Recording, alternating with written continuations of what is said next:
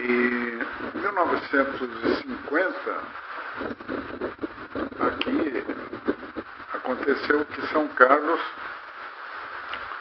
estava naquela história de universidade, universidade, universidade, todo mundo queria universidade. Universidade em São Carlos. É.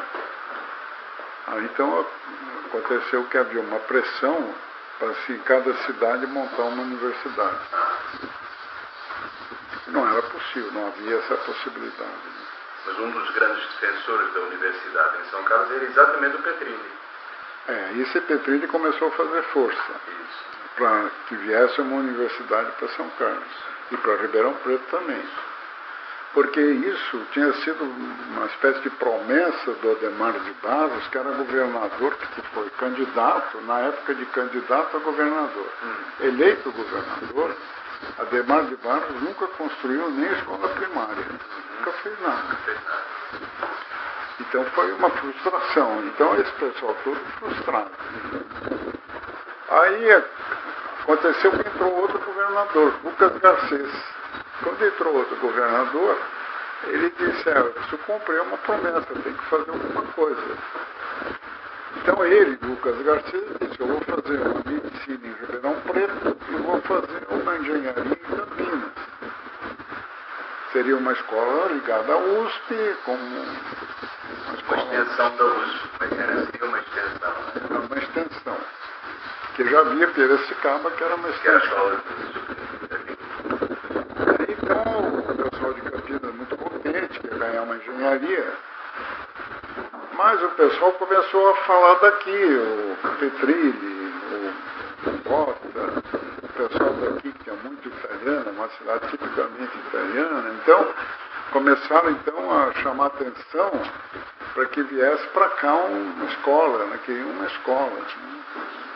E o Ernesto Souza Campos então disse, olha, eu vou convencer, vou falar com o governador para ver se ele muda, sai de Campinas e vem para São Quem é que Paulo. fez essa introdução com o professor Ernesto? Foi o próprio Petrilli que fez essa. Eles É, conversaram os o dois? Petrilli, é, o Petrilli estava procurando, porque como o professor Ernesto era considerado uma espécie de conselheiro junto aos governos, né, sobre negócio de ensino superior, ele estava procurando.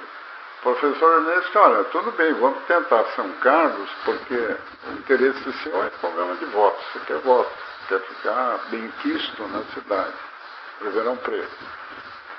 E eu quero que o pessoal de São Carlos também ganhe alguma coisa. O próprio professor Ernesto falou isso. Ah, o Ernesto.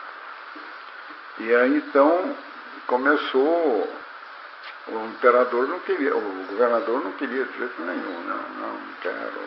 Imagine, São Carlos é uma cidade pequena, não pode, Campinas que merece, São Carlos não merece. E o professor Ernesto lá. Agora, coincidentemente, meu pai, que era o Cândido Malta de Souza Campos, que também era advogado,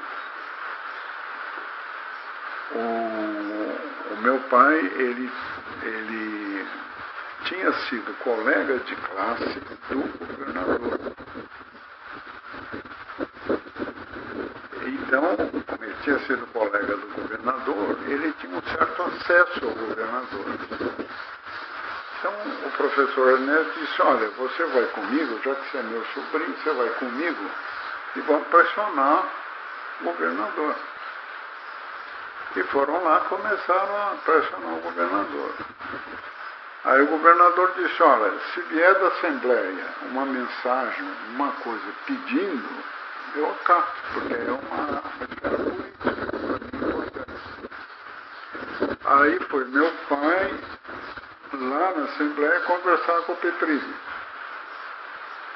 Falava, falou, Em falou. que ano foi isso? Em que ano foi? Lembra?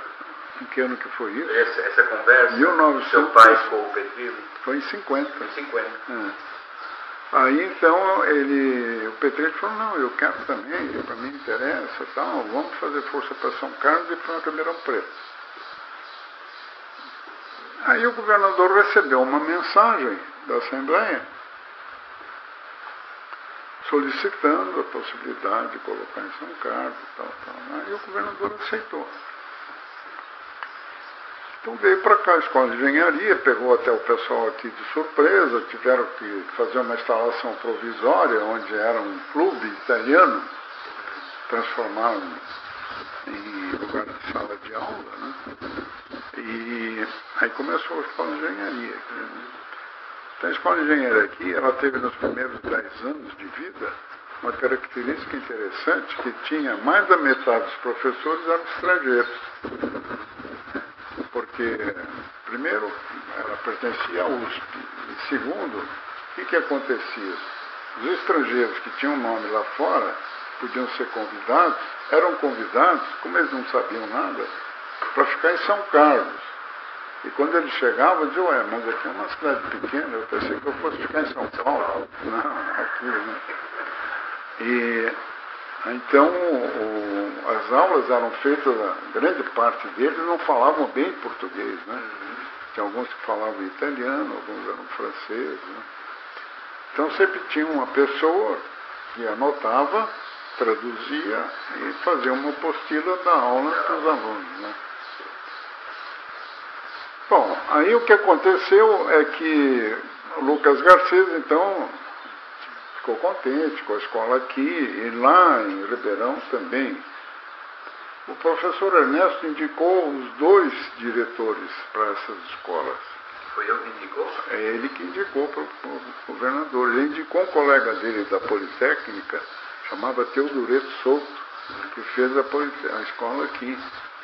E indicou um amigo dele, que tinha sido amigo da congregação da USP, que era o Vaz, o Severino Vaz, que foi o que fundou, que montou a Escola de Medicina em Ribeirão. Bom, então aí continuou. Aí aconteceu que no fim do mandato do Lucas Garcês, Campinas fazia uma pressão muito forte contra a pessoa dele, por ter tirado a, a escola Contra, de... contra o professor não, Contra contra o governador. governador, por ter tirado de lá a escola de engenharia. Né? E a campanha foi muito forte, muito forte. Aí o Lucas chamou o professor Ernesto e disse, ó, professor, eu estou com isso, eu tenho um problema, como é que vamos resolver? Ele falou, ah, é muito fácil, montamos lá uma universidade. Ah, mas como? Não, vamos montar uma lá. Olha, o meu amigo Zeferino Vaz acabou de aprontar a medicina, está tudo funcionando. Eu chamo ele de lá, ele monta a universidade. O governador topou o negócio. E aí acabou virando a Unicamp. Né?